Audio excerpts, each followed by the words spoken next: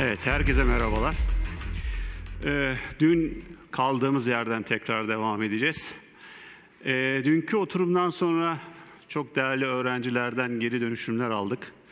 Ee, ve kendileri için e, çok önemli bilgilerin ya da nelerin yapılmasıyla ilgili beklentilerinin farklılaştığını gördük. Bu bizi çok mutlu etti. Birincisi bu. İkincisi takdir edersiniz ki oturumlar içinde en ciddi oturum boyutunu kazanan bölüm bizim bölüm. Çünkü e, tartışılması gereken çok fazla boyutu var. Çünkü spor ekonomisi üzerine e, konuştuğumuz zaman e, yeni bir disiplin, sürekli gelişmeye açık bir disiplin. Bununla beraber üniversiteyle sektör arasında senkronizasyon nasıl olması gerekiyor? Bunları dün başladık, bugün devam edeceğiz ve sonuç olarak belki olması gerekenler üzerinde bir fikir birliğini sizlere sunmaya çalışacağız. Evet, hemen konuklarımı davet etmek istiyorum. E, doktor öğretim üyesi Sayın Selçuk Mete Yazıcı Nişantaşı Üniversitesi'nden bize katılıyorlar. E, doktor öğretim üyesi Gökhan Çetinkaya, Okan Üniversitesi Lisansüstü Spor Yönetim Programı Koordinatörü. Seni öyle alalım. Ee, öğretim görevlisi Sayın Rıza Erdal, Kocaeli Üniversitesi Beden Eğitimi Spor Yüksekokulu. Hocam.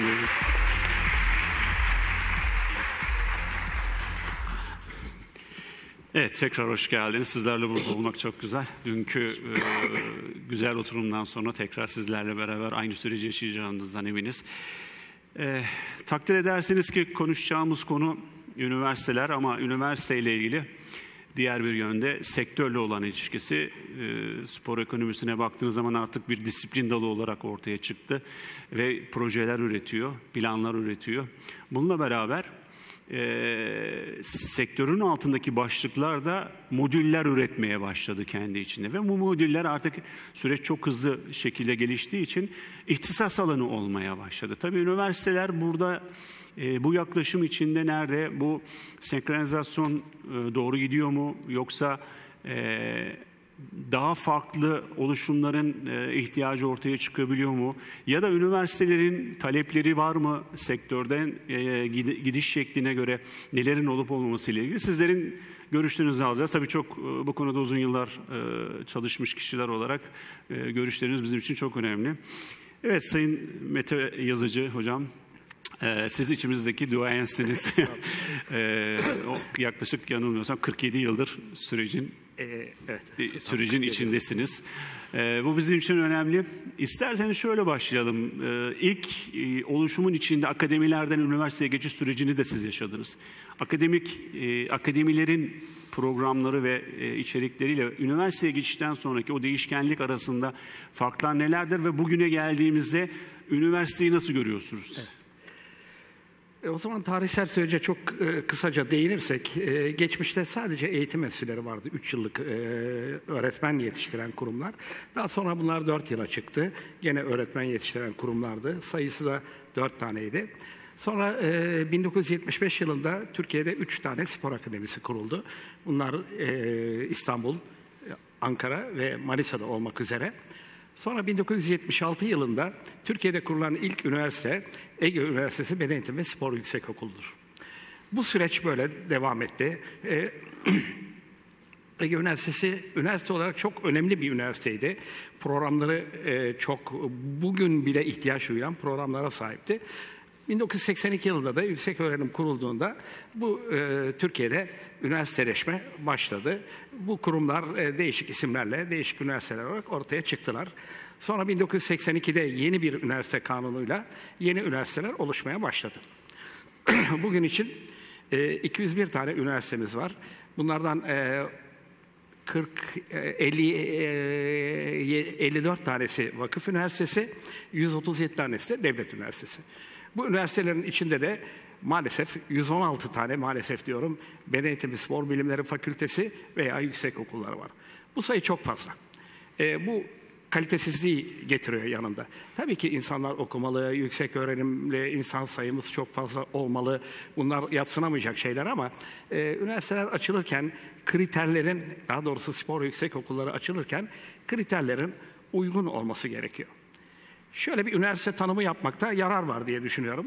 Üniversiteler dediğimiz zaman evrensel doğruları arayan, araştıran, bunları halka ve topluma ulaştıran, her şeyin özgürce öğretildiği, öğrenildiği, her türlü iletişime, eleştiriye açık demokratik kuruluşlar olarak görmek gerekiyor. Üniversitelerde çok önemli bir ilke var. E, çeşitlilik ve çoğulculuk ilkesi. Eğer üniversiteleri özgür bırakmazsanız, çeşitlilikleri ve çoğulculuklarını sağlamazsanız o zaman orada bilim olmaz. Bilim mutlaka özgürlük gerektiriyor. E, bu özgür ortamlar var mı yok mu? Bu bugünün tartışma konularından bir tanesi. Gene üniversiteleri birer meslek okulu olarak görmemek lazım. Üniversiteler insanları bir konu hakkında bilgi, düşünce, fikir sahibi yaparlar. İnsanlar bu bilgilerine, bu düşüncelerine ancak sektörün içinde yer alabilirler diye düşünüyorum. Yani üniversiteler aslında e, bunu çok kullanıyoruz ama yani toplumsal yapı içinde bir mühendislik görevi görüyor. Yani değişime açık pozisyonları çok yüksek. Özgürlük anlamında evet. ve demokratik katılım anlamında. Bunun en iyi örneği takdir edersiniz ki Anadolu'da e, kapalı bir e, yapıda yaşayan bir vilayette bir üniversite açıldığı zaman 5 e, sene sonra, 3 ve 5 sene sonra daha sonraki süreçlerde yapının çok farklılaştığını, o, o bilginin toplumun evet. içinde dolaşması ve davranış modellerinin toplumla bütünleşmesiyle beraber evet. ve toplumun onu kabul etmesiyle beraber çok farklı bir boyuta evet. geldiğini görebiliyoruz çok evet. rahat burada. Önemli olan burada şimdi kalite üniversitelerimizin kalitesi ne durumda? Mutlaka değişecektir bunlar. Mutlaka yapılmalı. Yapılmasının anlamında söylemiyorum. Ama spor yüksekokulları e, düzeyine indirdiğimiz indirdiğimiz zaman e, ciddi bir kalitesizlik diye biz kendi aramızda bile tartışıyoruz. Bunu nasıl aşmalıyız? evet, bunu zaten konumuz bu. Evet. Bunu bir şekilde burada nasıl süreci aş, devam ettireceğiz. Aşmalıyız e, konuşmamız gerekiyor tabii ki. Evet, sevgili Rıza Hocam, yıllardır siz de bu üniversite sürecinin içindesiniz. Karşılıklı çok e, istişarelerimiz oldu. E, sizce üniversite kavramı nasıl ve nasıl olmalı? Spesifik alandaki sponsorluk konusuna daha sonra geçeriz sizle bilgi alacağız. E, kısaca bununla ilgili bir düşüncenizi almak istiyorum. Tabii öncelikle herkese merhaba. E, altıncı kez yapılan bu organizasyonda bulunmaktan büyük bir onur duyuyorum. E, burada konuşmacı olma şansı verdikleri için de gene yetkililere teşekkür ediyorum. Tabii ben şanslıyım. Sektörün içinde e, sporculuktan gelen ve daha sonra yöneticilik yapıp daha sonra akademisyen olan biriyim. Dolayısıyla farklı pencerelerden bakma şansım var. Dün hocalarımız e, şey demişlerdi, bugün de hocam, Mete hocam söyledi. İşte kaliteyi yaratmamız lazım. Kabul ediyorum. Kendi içimizde kaliteyi yaratmalıyız ama yarattığımız kalitenin kullanılabileceği bir altyapı ve alan var mı? Yani bugün mesela evet biraz sonra belki ayrıntıları konuşacağız. Burada pırıl pırıl gençler var. Eğitim almaya çalışıyorlar. E, kendini geliştirmek için buraya geldiler. Bunlar kendilerini geliştirmeleri durumunda e, sektörde, spor teşkilatında e, herhangi bir başka desteğe ihtiyaç duymadan var olabilecekler mi? Aslında bizim tartışmamız gereken temel sorunlardan bir tanesi bu. Yani sadece sonuç üzerinden bir değerlendirme yapmak yerine nedenler üzerinde konuşmamız lazım. Bu e, gençlerin önünü nasıl açabiliriz sektörle, ve buna bakmak lazım. Sektörle evet. üniversite arasındaki ilişkiyi bugün çok e, kapsamlı bir şekilde e, olmasa da temel değerler üzerinden eleştirel bak, bakmamız gerekiyor hı hı. bugünkü süreçte. Ee, sevgili Gökhan, ee, Okan Üniversitesi'nin bölüm olmasına rağmen e, senin koordinatörlük yaptığın bir e, yüksek öğretim lisans programı var. Tabii bu e, yüksek lisans programları e, sürdürülebilir e, bir program içeriğini taşıyor ve lisans programından çok ayrı bir şekilde dizayn ediliyor. Ee, ilk önce biraz istersen oradaki süreçten bahsedelim. Ee, içerik olarak ve e, sektörle ilişkisi açısından nasıl bir e, program uyguluyorsunuz? Öncelikle burada olmaktan dolayı büyük keyif duyuyorum. Davet için çok teşekkürler. Ee, ben Okan Üniversitesi'nde başladım akademik e, kariyerime. Okan Üniversitesi e, sadece tek bir bölümle 2008 yılında e, spor alanında eğitim vermeye başladı. Spor yöneticiliği bölümüyle. O dönem tabii yüzde 40 İngilizce gibi daha büyükçe bir vizyonla yola koyuldu ama e, bir süre sonra bunun sürdürülemeyeceği aslında bakılırsa Çünkü görülüyor. aşağıdan gelen öğrenci profili yukarıdaki evet, profile uymadı. Uymadı. Öyle bir durum var. Tabii e, üniversiteler de öğrenciyle yaşıyorlar. Vakıf üniversiteleri hayatta kalıyorlar. Öğrenci sayısı yeterli olmadı. Akademik personel bulmakta zorluklar yaşandı.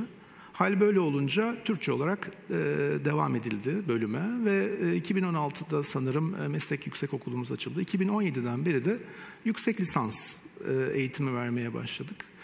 E, Doğrusunu söylemek gerekirse e, bir süre altıl kaldı. Yüksek lisansın üzerine çok eğilemedik. E, Çünkü akademik personel yetersizliği bir miktar e, sorun oluyor. E, Çok sayıda ders var. E, Ben Marmara Üniversitesi çıkışlıyım. E, Benim okuduğum yıllarda yüzün üzerinde, yüzün üzerinde akademik personel vardı üniversitemizde. Çok büyük bir çeşitlilik vardı. Ama vakıf üniversitelerinde bunu yakalamak çok güç. E, Öğretim görevlisi, öğretim üyesi bulmak gerçekten zor. O kararlar biraz daha zor alınıyor. İşin içinde tabii ki e, ticari konular da giriyor. E, Dolayısıyla bir süre çok üzerine eğilemediğimiz bir bölümdü. Ama sonrasında çok ciddi bir şekilde yüksek lisansta bir e, çaba gösterdik. Müfredatlarımızı tamamen yeniledik. Ders sayılarını arttırdık ve tezli ve tezsizi eşitledik. E, Biraz da akademik e, yükü hafifletip biraz daha sektörden insanları işin içine dahil ettik. Doğrusunu söylemek gerekirse beklentiye göre e, bir miktar durumsallık yaklaşımı yönetimde sürekli konuştuğumuz mevcut durumun gerektirdiği e, yüksek lisans programının biz bu olduğunu düşünüyoruz. E, Akademik tarafı biraz hafifleştirdik ve sektörden insanlara çok daha fazla olanak tanımaya çalıştık. Çünkü şu oluyor lisansta biz sektöre insan yetiştiriyoruz. Ama yüksek lisansta sektördeki insanı yetiştiriyoruz. Ee, hal böyle olunca onların da ihtiyaçlarına cevap veren ama eğitimin temel asaslarından da vazgeçmeyen bir- Tamamlama programı oluyor aslında. Kesinlikle öyle. Yani e, bir e, sertifika programı değil. Onun çok üzerinde. Ama yüksek lisans ağırlığında, devlet üniversitelerindeki yüksek lisans ağırlığında bir program mı? O da değil. E, Çünkü çoğu çalışıyor bu insanların. E, Hatta öncesinde de konuştuk. Online dersler eklemeye çalışıyoruz. Onun dışında sektörden insanları davet ediyoruz. Ve bir şekilde onlar için de keyifli hale getirmeye çalışıyoruz. Peki sektörle ilişki nasıl? Ee, me- me- e, mezun olan arkadaşlarımız ya da içerik olarak e, çok rahat sektörle iletişim kurabiliyorlar mı? Ya açıkçası lisans düzeyinde bunu kısmen yakaladığımızı düşünüyorum. Yüksek lisans Yüksek lisans düzeyinde e, çoğunlukla şu anda aldığımız öğrencilerin büyük bir kısmı zaten hali hazırda hakem, öğretmen gibi e, belli mesleklere sahip e, kişiler. E, ciddi bir networking oluşturuyorlar yalnız hem kendi aralarında hem hocaların iletişimini kullanarak. Ben açıkçası yüksek lisansta özellikle hocaların iletişiminin çok önemli olduğunu düşünüyorum. Çünkü ben 2001 yılında halen spor etkinlikleri üreten bir markanın kurucu ortakları arasındayım. Ve o marka kurulurken yüksek lisans öğrencisiydim ve hocalarımızın bizleri yönlendirmesiyle e, onlara sunduğumuz fikirleri hayata geçirmek için bizleri cesaretlendirmesiyle buralara gelmiştik. E, Ben çok inandığım konu bu. Biz sektörden de insanları aldık ve onların da ayağına gidiyoruz. Bu şekilde geçişin olmasını umuyoruz. Açıkçası henüz bunu ölçtüğümüzü söyleyemem E, ama e, umut ediyorum ki sizin de Bir geri dönüş vardır zaten Evet. sektörden size. Evet inşallah olacak. Evet sevgili Rıza Hocam, eee, çok önemli bir konuda konuşacağız e, sizle.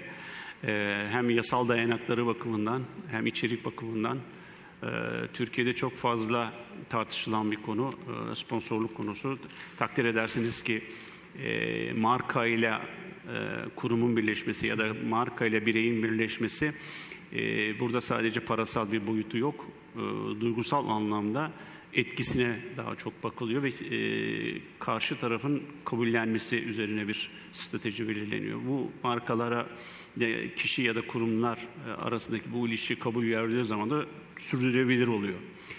Tabii sponsorluk en önemli şey. E, kalem olarak da e, kurumların e, gelir o finansal kaynak olarak da. Fakat e, yasal dayanakları nedir? E, birincisi bu. İkincisi e, bu süreç nasıl işletiliyor? E, sektörle e, kurum arasındaki ilişki e, nasıl dizayn ediliyor? Arka planını biraz bunun konuşalım. Yani e, kamusal anlamda nasıl bir süreç işletiliyor? Evet, çok güzel bir soru oldu. Teşekkür ederim. Aslında demin söylediğim üzerinden çok belki konuşmamız gereken konu bu. Yasal dayanak açısından şunu söylemek lazım. Türkiye'de 2004 yılında e, federasyonlarımız 3289 sayılı yasaya bir ekleme yapılarak özerk oldular ve Türkiye Futbol Federasyonu ise 1992'de 3813 sayılı yasayla özerk oldu. Daha sonra bunların e, bir anlamda da kaynağını yaratabilmek açısından gene 2004 yılında yasaya bir ekleme yaptık ve e, sponsorlukla ilgili çalışmaların önünü açmış olduk ve vergi mevzuatında da 5520 sayılı vergi mevzuatında da değişiklik yapılarak e, şirketlerin spora yaptıkları yatırımların e, bir anlamda da belli avantajlara sahip olmaları açısından değerlendirildi ama yeterli olmadı. Şu açıdan olmadı. Çünkü orada vergi matrağından düşmek diye bir tabir var. Yani bir şirket amatör bir branşa yatırım yaptığı takdirde yaptığı yatırımın yüzde yüzünü vergi matrağından düşmektedir. E, profesyonel sporlara yapılan yatırımı ise yüzde ellisini vergi matrağından düşmektedir. Tabii bunu niye geride kaldı diye ifade ettim. 2004 yılında bu karar verildi, bu uygulama yapıldı ama yıl oldu 2022 ve artık bunun da tekrar güncellenmesi gerektiğini belki vergi matrağından değil de direkt vergiden mahsup edilmesi yönünde adımların atılması gerektiği. Çünkü biraz sonra konuşacağız. Zaten bu yapılıyor. Kam, kamu kurum ve kuruluşlar ya da spor kulüpleri bu anlamda zaten kamunun kaynağını kullanıyorlar. Yani devlet bir cebinden çıkarıp diğerine koymak Hemen yerine... araya gireceğim. Dün e, Fenerbahçe ve e, Galatasaray temsilcilerinin burada amatör branşlarla ilgili özellikle e, eleştirdikleri noktalardan biri kamunun kaynaklarının bir takım üzerinden değerlendirilerek rekabet ortamına girmesi bir haksız rekabet sürecinin de yaşanmasına neden oldu. Çünkü kendi kaynakları kısıtlı, kısıtlı oldukları kaynaklarla e, mücadele ediyor. Fakat kamu kaynaklarının e, kalem olarak çok e, fazla oraya aktarma yapabilecekleri için aradaki ilişkide sorun yaşanıyor. Bu rekabet anlamında da bir büyük problem evet. çıkarıyor burada. Şimdi aslında bu konudaki önerilerimiz nelerdir? Ne yapmamız gerekiyor sorusuna cevap arayacaksak ben mesela öncelikli olarak şimdi ayrıntılar açısından baktığınız zaman özel bir spor yönetiminin mutlaka sağlanması gerektiğini ifade edebiliriz. Alt başlıktan ayrıntılarını söyleyeceğim.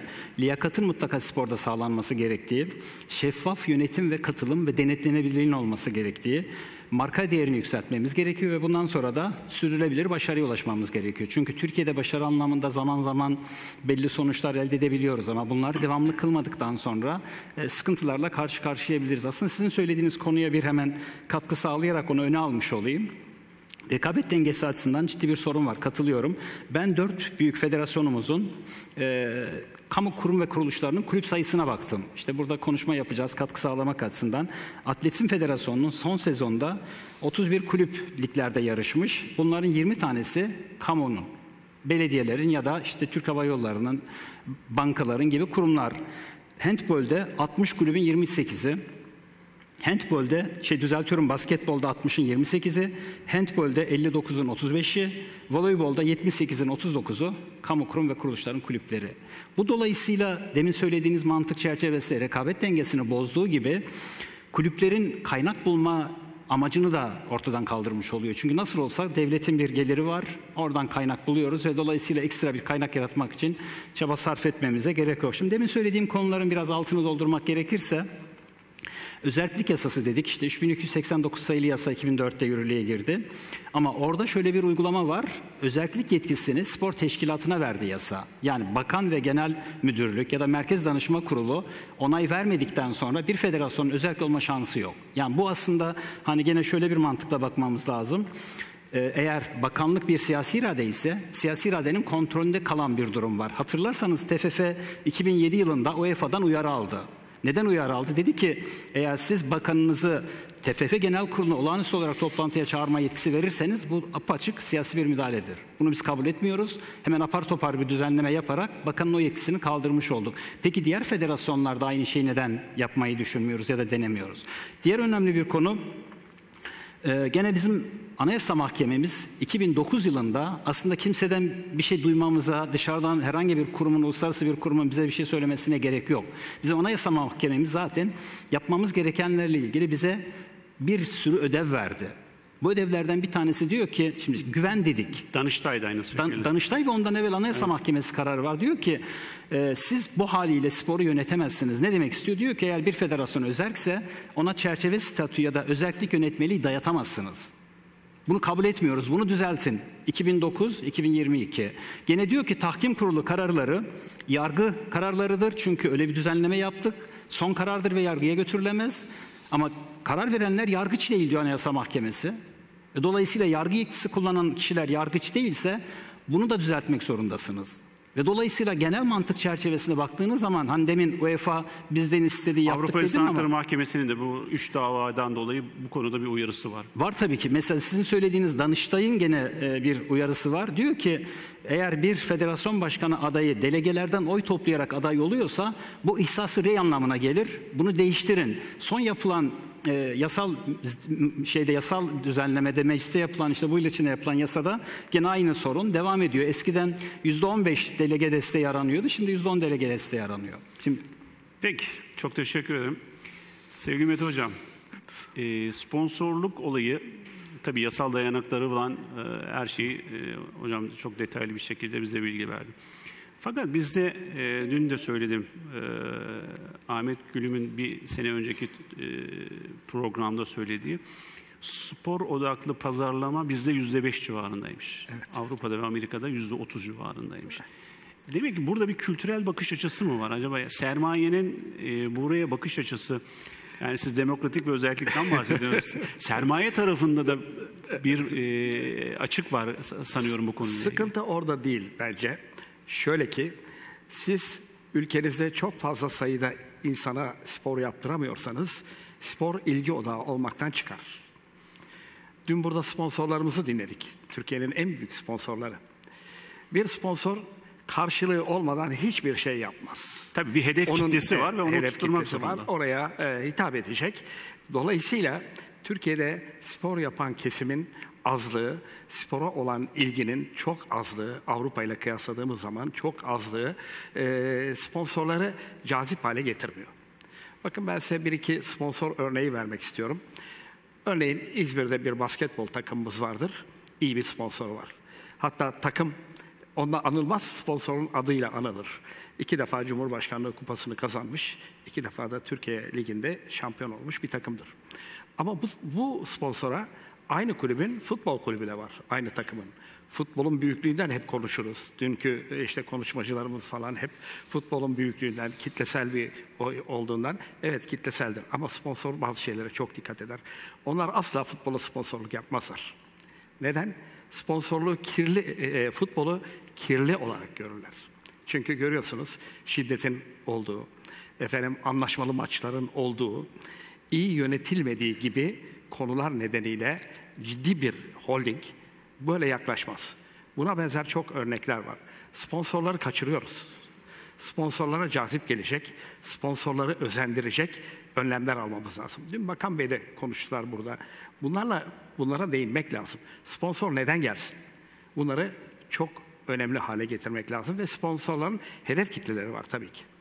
O hedef kitleyle ilgili spor branşımız neden güreşte düzgün bir sponsor yoktur? Neden boksta düzgün Ama bir sponsor tabii şöyle de yoktur? bir şey var. Yani netice itibariyle e, sporun iletişim e, ağını çok iyi kullanması ve hedef kitlelerini hatta dışındaki kitlelere çok çabuk ulaşması da çok büyük bir avantaj. Yani burada iki tarafı da biraz eleştirecek. Tabii, tabii ki. Sponsorlar çok akıllılar. Yani sanayici, üretici insanlar çok Bu akıllı. pazarı iyi kullanmak çok iyi gerekiyor. akıllılar. Sanırım burada da biraz Şimdi, sıkıntı var. e, makro pazar ve mikro pazar diye biliyorsunuz iki tane kavramımız var. Makro pazar dediğimiz zaman yatırım, işletme, istihdam gibi e, ve ülkedeki global gelir düşünülür.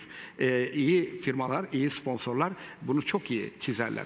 Mikro ekonomi dediğimiz zaman da belli bir konudaki e, analizleri yaparak oraya ulaşılır. Ama spor ekonomisi yavaş yavaş mikro e, şekilde dağılıyor ve ihtisaslaşıyor. Peki sevgili Gökhan, e, bu spor ekonomisi içinde bir planlama ve e, bir programlama süreci de var e, baktığın zaman. Bir proje üretme süreci de var. E, senin de alanın aynı zamanda. Buradaki uygulamalar yapısal değişikliklere neden olabiliyor mu? Ya da nasıl bir katkı yapabiliyor? Bugün spor endüstrisinin büyüklüğü e, 600 milyar dolar seviyesinde olarak açıklanıyor ama 2030 yılında bunun 1 milyar e, dolar, e, 1 trilyon dolar seviyesine çıkması bekleniyor. Türkiye'deki değerler elimizde çok fazla yok. E, Ama spor endüstrisi nasıl daha fazla büyür? Bence e, projelerle daha fazla büyür. Özellikle ülkemiz için söylüyorum. Sporda projeyi yeterli sayıda üretmiyoruz. Ürettiğimiz projelerin e, geri bildirimlerini, geri dönüşlerini yeterince almıyoruz. Devamlılığı çok fazla sağlayamıyoruz açıkçası. Dünyada nasıl e, proje yönetimi gelişti? 1969 yılında Project Management Institute e, kuruldu ve daha önce proje yapılmıyor muydu? Evet yapılıyordu ama proje yönetimi enstitüsünün kurulmasıyla birlikte sertifikasyonlar başladı. Artık dünya üzerinde yaklaşık 10 milyon e, profesyonel proje yöneticisi var. Bunların kaçı sporla ilgili, kaçı spordan onu bilmek şu anda çok mümkün değil ama sanırım çok azı. Ee, bu enstitünün sertifikasyonu dışında eğitimleri, e, işte yazılı materyalleri vesaireyle e, dünyada çok fazla proje üretilmeye başladı ve teknolojinin de gelişimiyle 50 e, yılda çok büyük bir değişim yaşandı. Ben proje yönetiminin çok önemli olduğunu düşünüyorum. Bizde ne zamandan beri hani proje yönetimi önemseniyor? Sadece sporda da değil. 2020'den beri, 2000'li yılların başından beri belki de proje yönetiminin Türkiye'de adı geçiyor. Biz 5 yıldır üniversitemizde de proje yönetimi, sporda proje yönetimi dersi veriyoruz. Onun dışında stratejik e, spor yönetimi, spor yönetiminin de başına stratejik kelimesi Sektörle koyarak. bu konuda bir bağlantı var mı? Ya aslında sektörle bağlantı şöyle tabii. Ben hatırlıyorum Beşiktaş Spor Kulübü'nün 100. yılında Beşiktaş Spor Kulübü çok büyük bir yetenek projesi geliştirdi ve e, Türkiye'nin Marmara Üniversitesi işbirliğiydi yanlış hatırlamıyorsam. 50'den fazla şehre gidildi ve çok büyük yetenekler keşfedildi. Ve o projenin sonrasında 5-6 yıl belki de o projenin e, meyvelerini biz e, aldık. Ama bu tip projeler e, devam etmiyor. Etmemesi de bizim açımızdan e, tabii ki olumsuz bir durum. Biz pek çok yerde projeli fikri de karıştırıyoruz. Bizim için e, mesela çoğumuzun olmuştur, kapımızı çalmışlardır. Ya benim bir projem var demişlerdir. Arkadaşımız, eşimiz, dostumuz, öğrencimiz. Ama biraz konuşmaya bak, başladığımızda sadece fikri olduğunu görürüz. Dünyadaki çalışmalar şunu söylüyor bize. E, bin tane fikirden sadece yedi tanesi gerçekten projeye dönüşebiliyor ve onlardan sadece iki tanesi başarılı olabiliyor. Ülkemizde bu bir seviyesinde. Dolayısıyla biz fikir sayısını çoğaltmalıyız, proje sayısını çoğaltmalıyız. Ee, bunun için de e, yapmamız gereken tabii ki bizlere düşenler var, akademik tarafta düşenler var, sektöre düşenler var. Herkes bunları üstlenirse eğer daha fazla proje, daha fazla tecrübe ve sonrasında da tabii ki daha fazla bir sektör büyüklüğüne ulaşılması mümkün. Biraz sürdürülebilirlik anlamda bir de içerik tartışması da çok önemli olması. Herhalde yani sadece bir yıla ya da bir e, sayıya ait değil de süreye ait ve kurumun gelişmesine ait projelerin gündeme gelmesinde yarar var sanıyorum. Kesinlikle. O biraz şey kalıyor, popülist kalıyor o yapılan projeler ve anlık olup bitiyor. O çok değerli de olmuyor sanıyorum. Olmuyor, olmuyor. Yani sürdürülebilir olmuyor, sonuçları alınamıyor.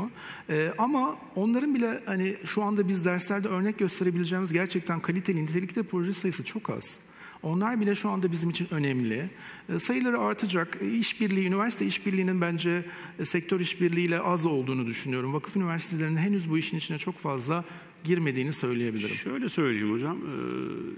OECD tarafından yapılan açıklamalarda araştırma makaleleri üzerinde Türkiye yanılmıyorsam öğretim üyesi ve öğretim görevlisi üzerine düşen makale sayısı bakımından sondan üçüncü durumda. Yani şuraya geleceğim. Ee, bizde araştırma makaleyle ARGE çalışması ile ilgili de bir kaynak sıkıntısı var. Aynı zamanda da buraya yatırımla değil hem sektör anlamda hem üniversite anlamda da bir evet, problem yaşıyoruz. Bu, bu da bir gerçek. Çok doğru sayısal bir olarak da karşımıza evet. çıkıyor. Çok doğru bir tespit. Şimdi e, dilerseniz dünkü kaldığımız yerden sizle de devam etmek istiyorum. Şimdi tamam. bu kadar makro bir e, güce sahip e, bir eğitim programı e, spor yönetimiyle ilgili özellikle evet. ve içerik olarak da çok e, fazlasıyla bilgi var. E, filtre edilmeden hazırlanmış bir bilgi yığını var burada. E, netice itibariyle spor ekonomisinin bu kadar dinamik bir yapısıyla beraber çok fazla alt ihtisas başlıklarının evet. ortaya çıkmasıyla beraber bir e, uyuşmazlık söz konusu. Tabii bu bizim tarafımızdaki yere bakalım yere biz. Evet. Bizim tarafımızdaki yer üniversite nasıl kendini yenilemeli evet. ve nasıl bir sürece geçmeli? E, bu söylediğinize katılmamak mümkün değil. E, üniversitelerde çok ciddi sıkıntılar var. Ama biz spor yüksek okullarının ya da spor bilimleri fakültelerinin yöneticilik bölümlerine baktığımız zaman e, bir öğretimin kalitesi programlarıyla ve öğretim elemanlarının kalitesiyle ortaya çıkar. Programlarımızda maalesef e, rastgele seçilmiş derslerle beraber özen gösteren üniversitelerimize örnek verelim. İşte iktisat gibi, ekonomi gibi, işletme gibi, pazarlama gibi e, mesleğe e, onları hazırlayacak derslerin yanı sıra e, işte iletişim becerileri, örgütsel e, yönetim gibi alanlar da var. Baktığımız zaman bu markalaşmada çok önemli alanlar bunlar. Ama bütün mesele o dersleri verecek öğretim elemanı kalitesinde. Eğer siz iktisat dersini bizim spor bilimlerinden e, e, mezun olmuş bir arkadaşa verirseniz bu olmaz. Mutlaka iktisatı iktisatçı vermeli. Muhasebeyi muhasebeci vermeli. Pazarlama dersini pazarlamacı vermeli. Siz bu ön koşulu derslerden sonra bunun üzerine spor e, pazarlaması koyabilirsiniz. Spor ekonomisi koyabilirsiniz. Böyle gidersek kaliteyi yakalama şansımız olacaktır. Bilge Donuk dün bu konuyla ilgili hemen araya girdim. Ee, kusura bakmayın. Estağfurullah. Enstitü, enstitü şeklindeki bir e, örgütlenmenin daha zengin bir altyapı oluşturacağını söyledi. Ee, tam olarak katılmıyorum. Söylediği mutlaka çok doğru. Neden? Dört yıllık süreç çok şey değil. Dört yıl çocukların zamanını çalmanın şey yok, anlamı yok. Bir an önce onları hayata hazırlayan... Süreyle ilgili de bir süreyle var ilgili. E, Çünkü o sözünü ettiğimiz şey lisans eğitim bittikten sonra hocamın da söylediği gibi lisansüstü eğitimlerde e, e, odaklanıyor. Yani öyle bir Peki programdan söz bilginin dağılmasıyla ilgili yani biraz parçalanması lazım. Burada bizim tartıştığımız soru bu. Evet. Yani ciddi şekilde problem bu. Yani bilgi çok e, total kalıyor ve çok makro yapıda. Evet. Buradan e, öğrenci de çok fazla yorularak çıkıyor. E, işte o zaman yoruluyor. Bu dört yıllık eğitimlerin sırasında bunları hızlandırmak lazım. Hızlandırmak lazım. Teşekkür ederim. Rıza Hocam senin düşüncelerini alayım bu konuda. Aslında bu konu 2008'de tekrar gündeme gelmişti. Biliyorsunuz Türkiye'de Bologna sistemi diye bir sistem hayata geçirilmeye çalışıldı. O dönemde aslında belki bu konuda doğru işler yapılabilirdi. Her üniversiteye bırakıldı program yapma konusu ve her üniversite kendi potansiyeline göre, kendi fiziksel özelliklerine göre, kendi akademik kadrosuna göre hocamın söylediği Yani gibi özelliğin orada geçerli Evet geçerli lazım. olduğu bir şekilde herkes kendine göre dersler koydu. Sonra işte yıl oldu 2022. Bir öğrenci yatay geçişte başka bir yerden başka bir yere gidiyor. İlave ders almak zorunda kalıyor da aldığı dersler geçerli sayılmıyor. Baktık ki bu işin içinden bu şekilde çıkamıyoruz. Şimdi yeni yeni işte hani bu dekanlar toplantıları falan yapılmaya başlanıyor. Burada bir eğitim ve müfredat birliği sağlanabilir mi? Çünkü şöyle bakmak lazım. Sonuçta biz hangi sektöre insan yetiştiriyoruz? spor teşkilatına ve spor kulüplerimize ya da bu anlamda şirketlere insan yetiştiriyor, insan gücü yetiştiriyoruz. Farklı özellikler elbette ki e, düşünülemez. Sonuçta beklentiler nelerse bütün fakültelerimiz aynı beklentileri karşılayacak düzeyde eğitim vermeliler ki liyakat esasına bağlı onlar mezun olsunlar ve üretken olma şansına sahip olsunlar. Şu veriyi paylaşayım izninizle. Türkiye'de insanların verimli çalışma oranı %3'leri geçmiyor. 8 saat işe gitmemize rağmen 3 saatlik üretiyoruz. Ama ortalama bir gelişmiş ülkede 8 saat işe giden bir insanın üretime katkısı 7 saat oluyor.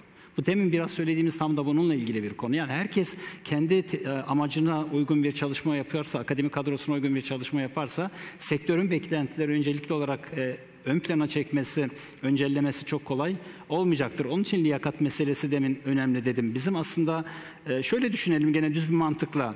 Mühendis olmayan birinin yaptığı bir binada deprem geçirmek isteyen var mıdır salonda?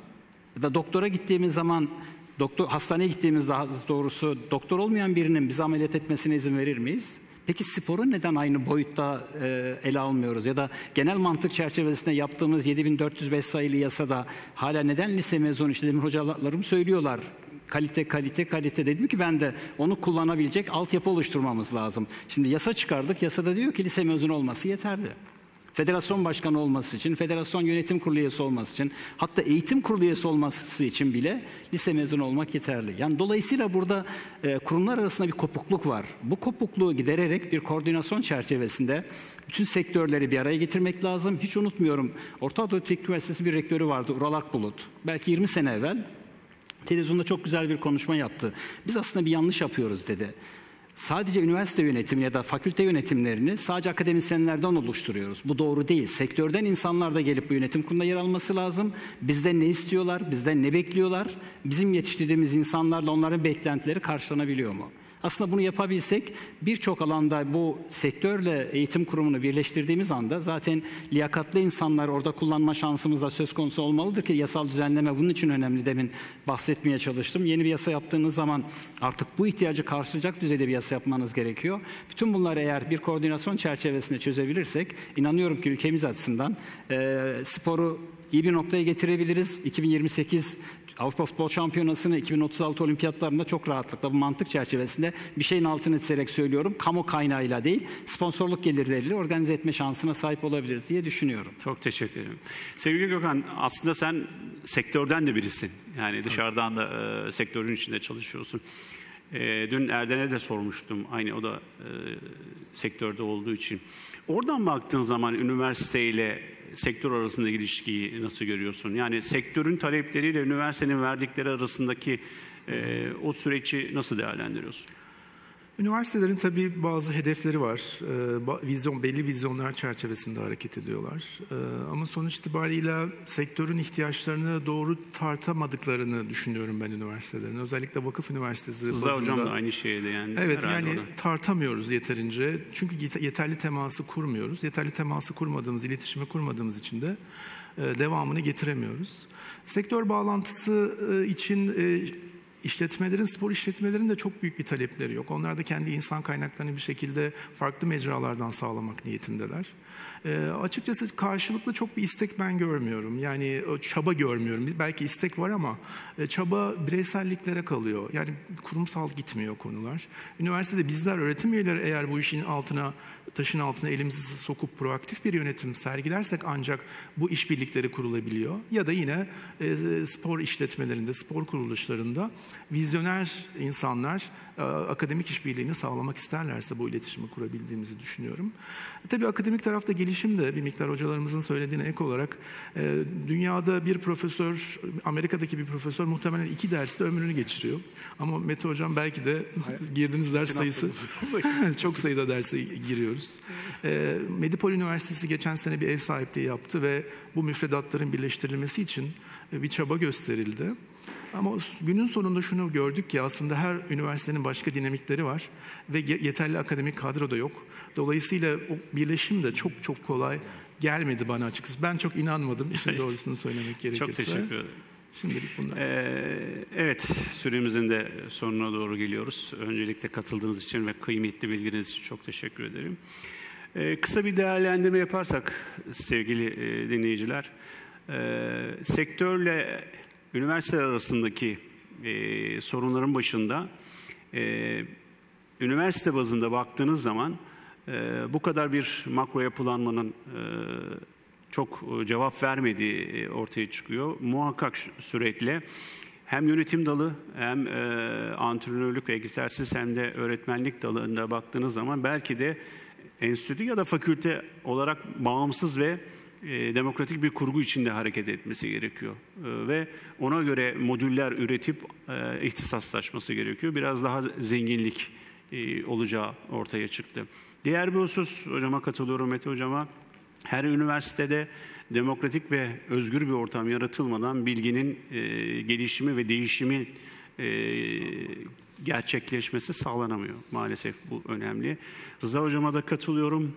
Üniversiteler kendi bünyesinde örgütlenmeli, kendi bünyesinde yapı, yapı- yapıyı ortaya koymalı. Her üniversitenin yapısı aynı olmak zorunda değil. Tek tip yapının e, bilgide de tek tipleşmesine neden oluyor ve bu değişime öncülük edecek bilginin örgütlenmesinde farklılaşmayı ve zenginliği ortaya koymuyoruz. Tabii buradaki en önemli şey üniversitelerin artık küresel ölçekte bir e, değere sahip olması, spor ekonomisi ve e, baktığınız zaman e, diğer alt başlıkların tamamı küresel bir değerlendirme içindedir. E, bunun içinde e, entegrasyon için yabancı dil üzerinden de bir yapılanmanın keskin ve sert bir şekilde uygulanması gerekiyor. Çok teşekkür ediyorum. Bizi dinlediğiniz için çok, çok teşekkür ediyorum. Ee, hocalarıma bir alkışınızı rica ediyorum.